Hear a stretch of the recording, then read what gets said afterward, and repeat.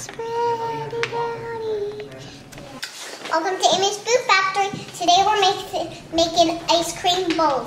So we need this banana. What's the C? And then we need some coconut. First we take the coconut only on one side.